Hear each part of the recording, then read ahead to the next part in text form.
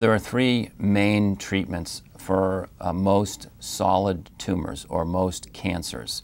That would be what we call systemic therapies, and chemotherapy would be part of that, or uh, otherwise termed drugs of uh, some mechanism of action, which are taken either intravenously or orally.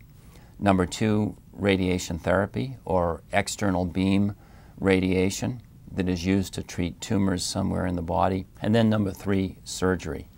Uh, surgery for pancreas cancer is a relatively simple treatment.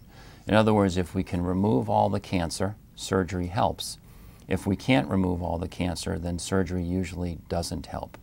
Important for patients to understand that surgery is not a neutral event. By that I mean that surgery does carry with it some side effects.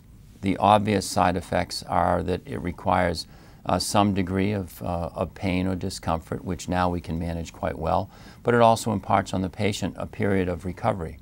They're, they need to be in the hospital for a week or so recovering from their surgery, and then it oftentimes is a few weeks to a couple months recovering after the operation. Uh, at a biological level, the problem with that is any stress on the body depletes the immune system to some degree.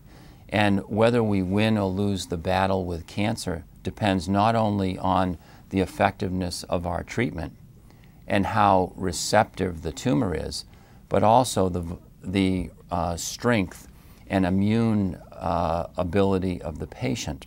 Their so-called immune surveillance to process the treatment that we are giving and help fight the cancer.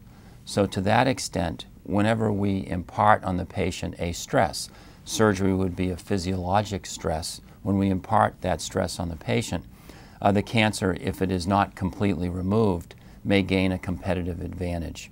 For this reason, at this institution, we routinely treat patients first, usually with chemotherapy or some other agent that treats the entire body in case the, the cancer has spread at a microscopic level that we cannot see on a CT scan, treat them with systemic therapy first, and then combine radiation therapy and surgery in the way that we feel will best treat the patient.